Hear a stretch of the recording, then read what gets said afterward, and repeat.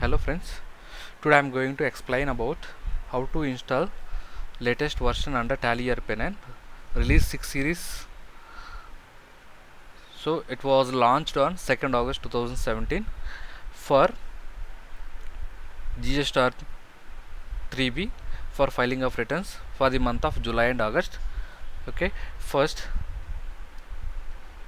visit this site tallysolutions.com download.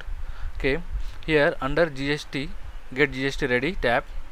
Okay you will get this option. Okay option tally ERP9 and okay.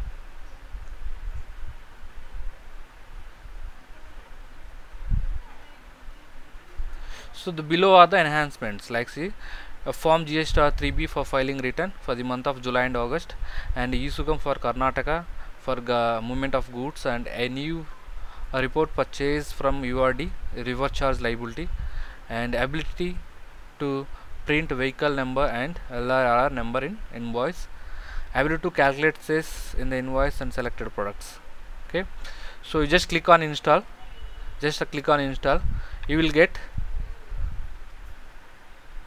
so set up one exe file. Show. Okay. So it will show in downloads. Okay. Downloads. You just double click and click on s. So, so your tally version will update. See earlier earlier we have only GST1 GST2 now so when you install that latest update.